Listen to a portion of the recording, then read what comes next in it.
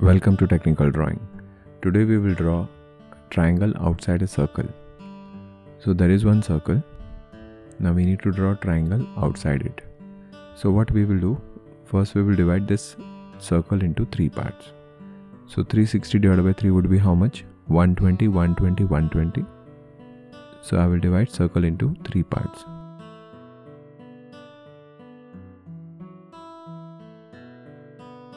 Now after that, I'll draw lines from each and every point like this. So basically I'm extending the line. This is ABC. Then I'll take O to A and from A I will cut. So everywhere I'm extending the radius. See this. So you got 3 point, 1, 2, 3. Now we need to bisect 3O.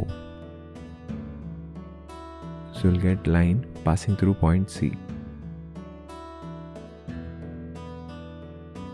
Same way I will bisect O2.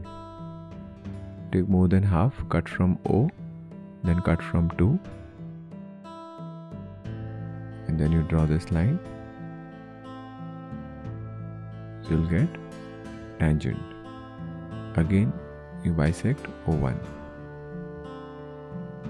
So this way, you divided this line and you got three sides. So you got triangle.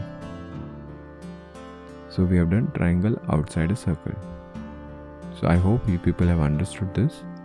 Thank you.